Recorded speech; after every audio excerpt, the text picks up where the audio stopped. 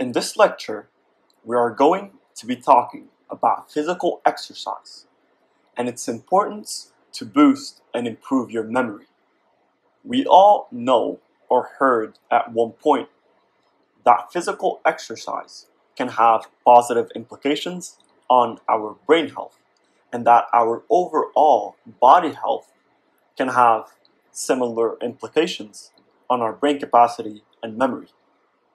The bottom line is that exercising will improve our muscle memory, will improve our muscle brain.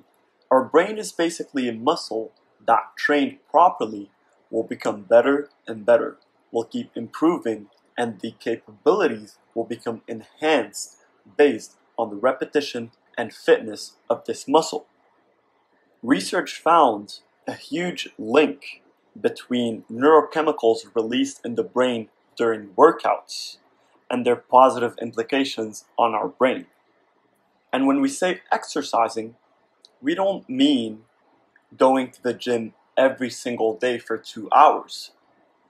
Going for a 30 to 45 minute run two times a week can help you a lot and can tremendously change a lot of factors in your life all of the physiological changes, the reductions in insulin resistance and inflammation in the body, also a lot of growth factors and chemicals that affect the growth of new blood vessels in the brain and in our system, the abundance and overall health, ability, and functionality of new brain cells.